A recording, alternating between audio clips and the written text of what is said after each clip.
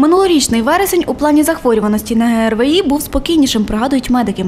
Цьогоріч з початком осені школярі та студенти повернулись на навчання. На дворі похолодало, от і нових пацієнтів, як грибів після дощу. За останній тиждень побільшало у півтора рази і вже майже дві тисячі. За останній тиждень, це з 12 по 19 вересня, е, в області захворюваність на грип та ГРВІ становить 17,9 випадків на 10 тисяч населення, при підпороговому значенні 18,2 випадки. Половина хворих діти, проте школярів менше чверті. Тому жодних навчальних закладів, класів чи груп на карантин поки не закривали. А от госпіталізувати майже 140 хворих таки довелось, і сотня з них діти.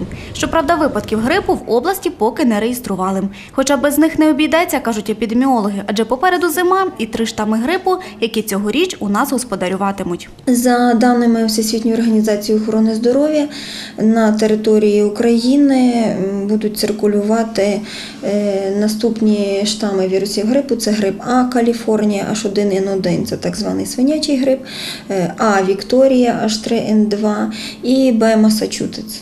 Ну, скажімо так, що ми не зустрічалися останнім часом. Це з грипом Б, оцей Масачузетс.